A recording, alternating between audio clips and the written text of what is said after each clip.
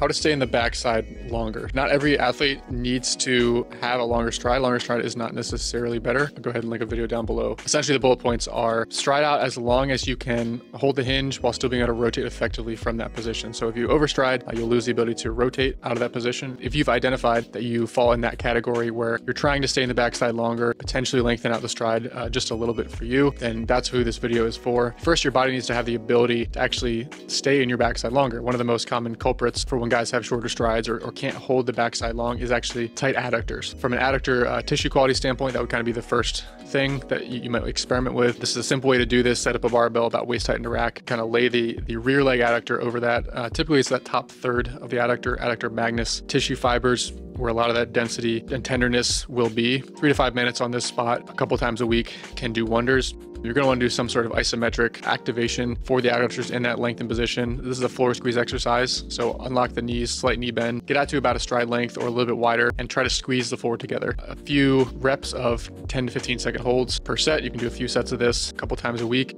So this is the sliding hinge drill. I've posted this before. You either can have a slider uh, under that lead foot or you can do this with uh, your front shoe off and socks. But again, we're just sliding uh, with the front foot and you're gonna guide your center mass down the mound, trying to hold the backside, hold the head back, stay stacked with the trunk. Corey's demonstrating it one way, but it's gonna look a little bit different depending on your specific hip structure.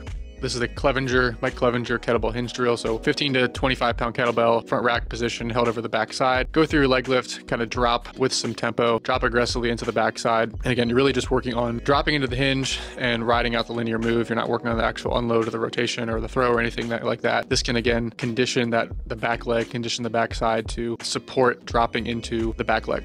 Step backs, we've posted about them a, bunch before, but again, it's a good option for those of you who need to stay in your backside longer. The step back into the backside can really help you engage laterally with the ground. So as you're able to go through your normal leg lift, you can really feel that reversal of uh, energy, that reversal of direction, and feel the ground pushed back into you in more of a lateral sense when you go through the step back. You can modify this by the addition of a band. I'll go ahead and link a video down below for you guys if you want to learn more about this particular band setup, but essentially the band is feeding the flaw. It's trying to pull you forward and open the pelvis early. In feeding the flaw, what your body has to learn to do is to not allow the band to open you early. So you're going to actually stay in your lower half longer. You're going to keep the pelvis closed longer, delay that rotation longer as a response to the band trying to open you up early. And then this would be a hop back drill. So similar idea to the step back drill, just adding a little bit of tempo to the overall movement, a little bit more of a dynamic variation, a little bit more reactive where you don't have time to really think about what's going on. A lot of guys that I see that come out of their lower half early could benefit from the cue stay sideways just to, you know, give them a simple visual of riding the backside just a hair longer down the mound.